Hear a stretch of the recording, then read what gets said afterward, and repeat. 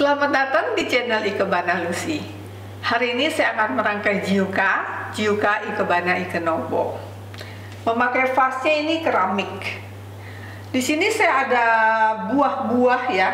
Saya juga tidak tahu persis ini namanya apa, buah dari pohon apa, karena saya dapat hadiah dari teman. Tapi lucu sekali, tangkainya ini warnanya pink, lalu buah-buahnya agak kehijau-hijauan ya. Nah, bentuknya dia rada sedikit melengkung. Jadi saya kebetulan punya vas ini, bentuknya agak melengkung seperti ini. Nah, biasanya kalau kita merangkai jiuka, kita ambil inspirasinya tuh bisa dari wadah. Kadang-kadang ada pertanyaan dari teman-teman, aduh bagaimana ya mendapat inspirasinya uh, untuk merangkai uh, rangkaian ikebana.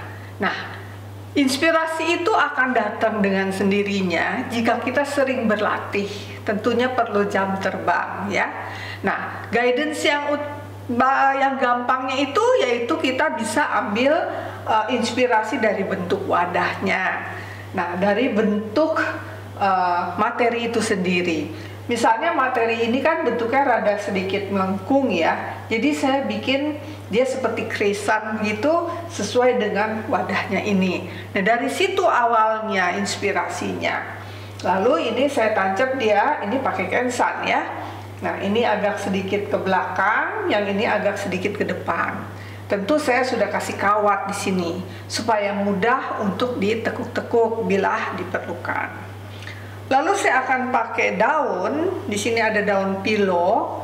Daun pilo ini juga saya lihat um, kalau dari samping bentuknya melengkung begitu ya, crescent. Jadi saya lihat dia cocok sekali, harmonis sekali dan dia ada unity-nya nanti unity dari bentuk vasnya unity dari bentuk biji-biji ini dan juga dari si daunnya coba kita coba kita taruh di sini memang perlu coba-coba ya perlu latihan untuk mendapatkan ide-ide itu nah kita jangan terlalu uh, memaksa diri menjadi stres kalau kita merangkai kebana kita harus enjoy, harus menikmati ya. Karena merangkai kebana itu adalah bagian dari moving meditation. Artinya kita benar-benar melihat ya, bagusnya dia gimana, arahnya dia gimana. Seperti ini ya. Wadahnya ini kan ada lengkungan begitu.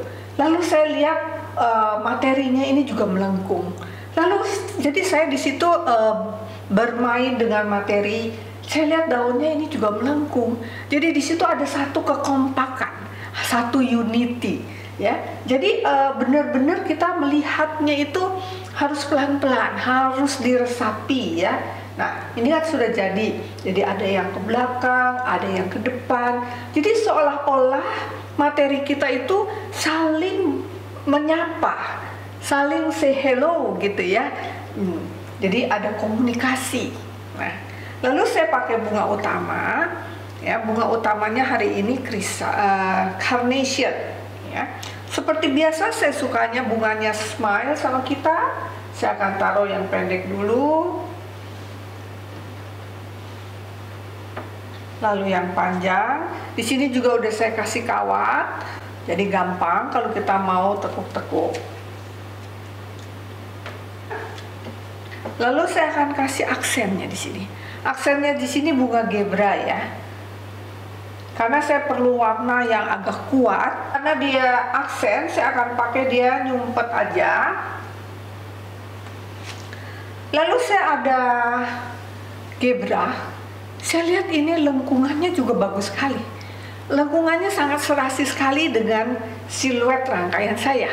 Maka saya akan pakai dia sebagai aksen sekaligus sebagai dramanya ya karena di sini kan sudah agak uh, pasif ya kurang materi lain. Maka saya akan kasih materi lain di sini.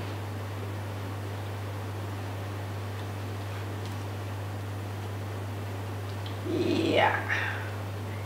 Materi lainnya saya akan pasang agak ke depan.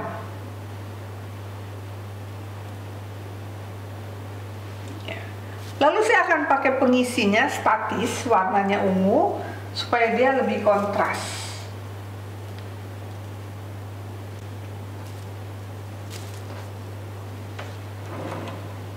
Sekaligus juga dia untuk mengisi di bagian dalam ya. Oke, rangkaian saya sudah selesai. Jadi inspirasinya berawal dari wadahnya. Kalau kita lihat dari samping, si Gebra ini menjorok ke depan, ya. Rangkaiannya udah selesai. Kalau suka dengan channel saya, bisa di like, share, dan di subscribe. Terima kasih.